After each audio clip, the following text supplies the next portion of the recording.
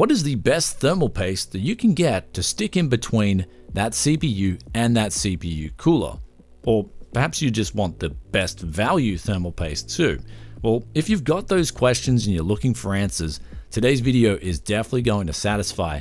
Well, we have tested over 18 different thermal pastes and also we've included some of the previous winners that we had in a comparison that we did years and years ago. And we've also updated the list here to include Thermal Grizzly thermal pastes, which were heavily requested in the previous test that we did, and we've also got some newcomers on AliExpress. In particular, we do have two new options of the value champion, the GD900, and we've also got a newcomer from Maxtor as well. But let's get into all these results and then some right after today's video sponsor, which is pretty cool because you can get the best value thermal paste in today's comparison for even cheaper. Today's video is brought to you by AliExpress and their back to school blowout sale where you can get heaps of different deals site wide with up to 80% off. Now for me personally, I love shopping for tech on AliExpress, especially compared to Australia where I can get heaps better deals on things like CPUs. For instance, the Ryzen 7 7800X3D that can be had for a bargain, as well as this brand new smartphone from OnePlus. This is the 13R, which has some of the specs of some of the higher end phones like a Samsung phone, but coming in at a way better price, at least from AliExpress. Not to mention these prices that I'm showing up on the screen, you can also get a further up to 10% cash back if you use my link in the description below and join Team Tech Yes City. And this is the best part of this, the more you shop, essentially, the more cash back you get, and you're able to then utilize that to get better prices on your next item.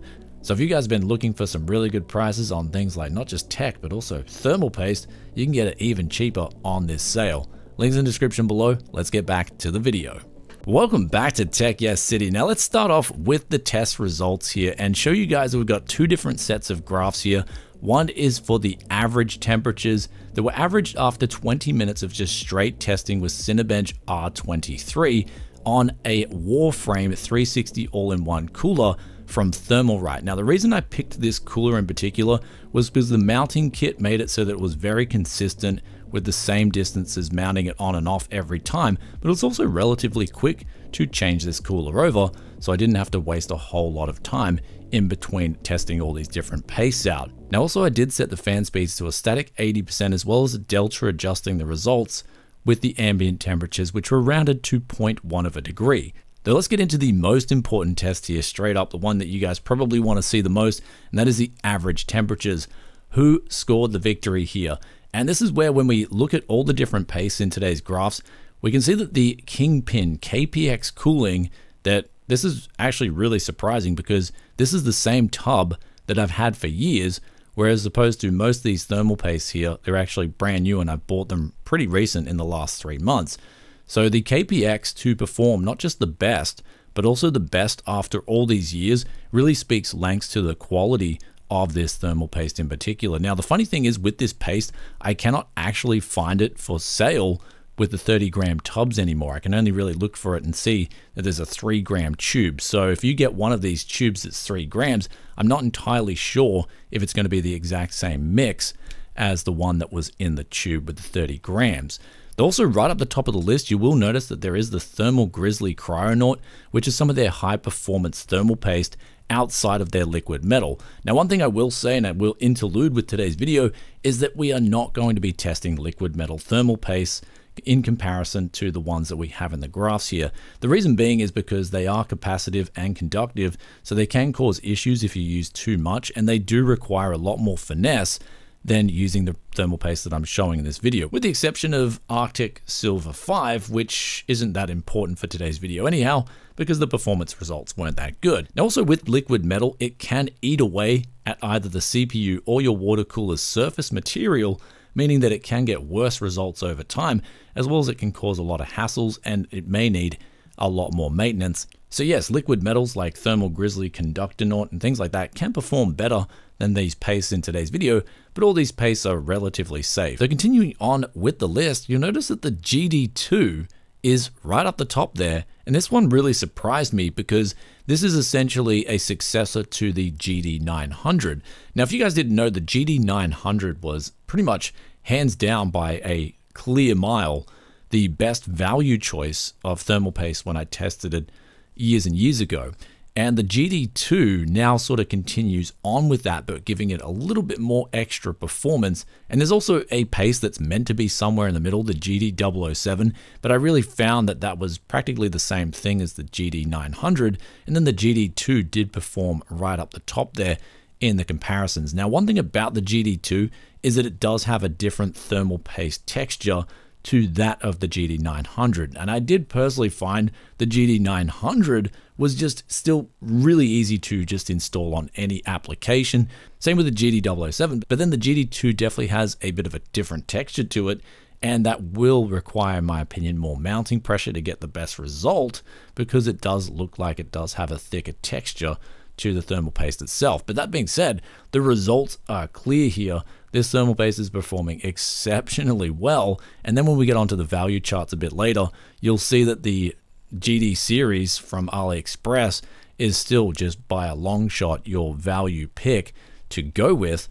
But let's continue on with this list first. And we've got uh, near the top of the charts here, especially on average temperatures, which I do feel is more important than the maximum temperatures, which we'll get onto soon. But the average temperatures really show you what you can expect just after testing this for over 20 minutes. And so monitoring this here, the MX6 from Arctic, that did pretty well too. Now Arctic have had also their MX4, which is a their valued choice for thermal paste, and it does a reliable job, but they've also got their MX6, which is their latest and greatest paste that is meant to do the best job in terms of cooling performance. But going down the list here, Master Gel Maker from Cooler Master, that does pretty well. Definitely a thicker thermal paste, but it's good to see that Cooler Master, especially this stuff, which I believe is included with a lot of Cooler Master coolers, is doing a pretty good job. Then the Gelid GC Extreme, that is also, I'm using that from the previous video, and that's doing pretty well, but it's not doing as well as it did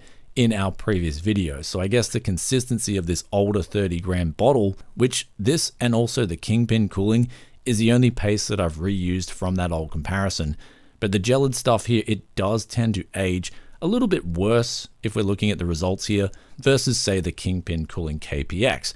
But then we've also got a newcomer in the list here. This is from Maxtor. This is the CTG10. Now this stuff is actually pretty expensive.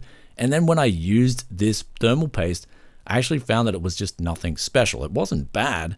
It was getting around the midway of the pack, but it was just nothing great, especially in terms of value. It's one of the worst pace in today's comparison. But another thing is too, you may be wondering what type of method do we use to spread the thermal paste in today's comparison? For all the paste that we could use the line method on, we did use the line method on. Then for the KPX cooling, we use the spread method because it has a spatula with it. Same with the Gelid GC Extreme. So those two pastes, we did use spread method. But as we said earlier in the video, the mounting pressure was quite high. And so that does a pretty good job of just pretty much flattening the thermal paste out really heavily. Looking at some of the other pastes in today's comparison, like the Corsair thermal paste, as well as the Deep Cool and say the MX5. These were just mid-runner pack thermal paste. They didn't really stand out and they didn't really do anything special.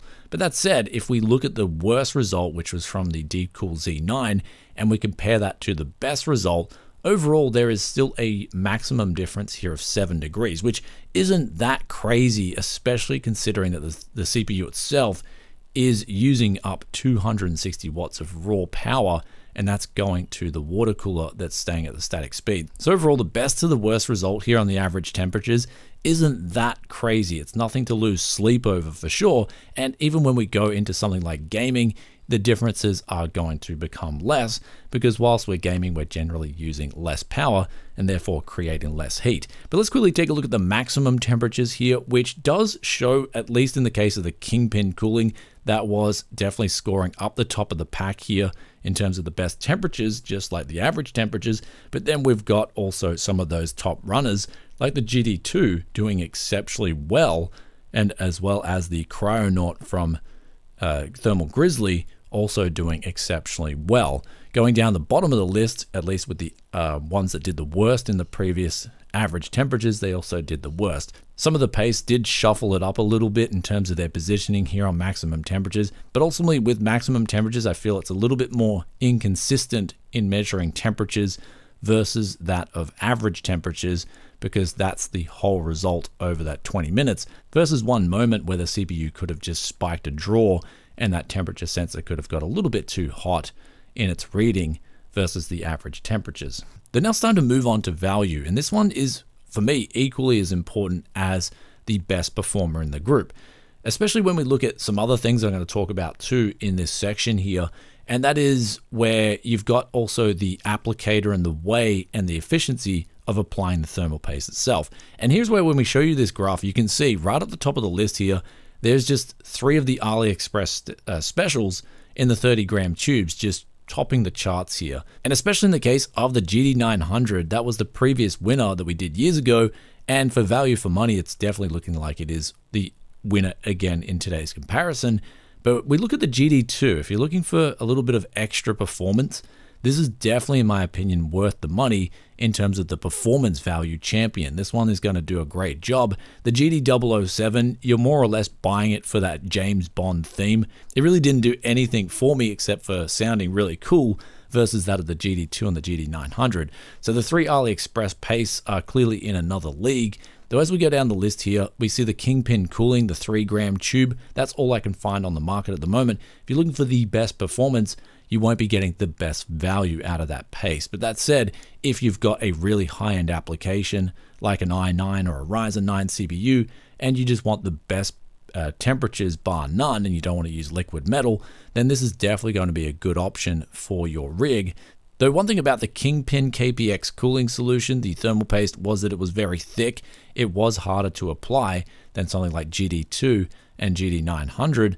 But then we look at some of the other thermal pastes too, like the Thermal Grizzly, especially the Hydronaut and the Kryonaut. They were actually very easy to apply. So I'm guessing if you've gone with Thermal Grizzly thermal paste, you don't really have anything to worry about in terms of getting any more performance out of your thermal paste, unless, of course, you want to waste a heap of time going with something like KPX from Kingpin. Anyhow, guys, with all that out of the way, it's time to now pick out a couple of winners for today's comparison. And that is if you're looking for just straight performance, still to this day, with, with the exception of liquid metal, the Kingpin Cooling KPX is definitely going to do it. But then if we're looking for value for money, we've got here, in my opinion, kind of like a tie between the GD900 and also the GD2. I think if you're building a lot of PCs and you're a shop, for instance, you're probably going to want to go actually with the GD2 because the reason I would pick the GD2 over the GD900 is you're getting a little bit less value for money, but those temperatures are a little bit better. And the texture didn't make it so that it was a deal breaker for me. It was a little bit more difficult, very like a smidgen harder to apply than the GD900. But that said, over the long term, you're going to be getting slightly better temperatures, and that could just mean the difference between a CPU that just lasts, I guess, a little bit longer, right? In the grand scheme of things. So if I was going to nitpick between these two, I'd say it really doesn't matter, but I'd pick the GD2 just seeing these results here today and running through all the tests. And of course, as we said before, we're going, and one thing I will just reiterate again and emphasize is that we're going with a 260 watt scenario here, which is right up there in terms of ridiculousness. And so as we go down the list in terms of differences, and I'll actually just show up a graph for gaming and show you the differences between the worst and the best contender here, the differences start to minimize more. So when it comes to caring about thermal paste, it's not that big of a deal unless you are going for the best of the best performance, which in that case, you're probably going to go for the chart topper here. But also one final thing I wanted to talk about before I get on out of here is the Thermalright TF7. Now we've got a video coming up on Thermalright coolers. It's going to be really good. I bought a heap of different Thermalright coolers on the Amazon Prime Day because they were just exceptional value. Now they come with a thermal paste included in the box most of the time called the TF7. And this stuff is not just surprisingly decent, but it's also incredibly good in terms of if you're just looking for a cheap option for thermal paste. I was surprised at how cheap this stuff is just for a tube of it. Now, one thing about it is it's a little bit more difficult to apply than some of the other thermal paste we used here. Very thick texture to it, but it's a pretty good paste. And so if you're wondering, does my box cooler, especially if it's a Thermalright cooler, does it include bad thermal paste? The answer is no. It includes really good thermal paste, and you shouldn't really have to worry about going out and spending extra. And of course, if you're buying a Thermalright cooler, you're probably not buying a 260 watt CPU to begin with, anyhow. Though anyway, guys, closing out today's video, the results are all there. Hope you enjoyed this one. If you did, then be sure to hit that like button and also let us know in the comments section below, is there any other thermal paste you want us to check out?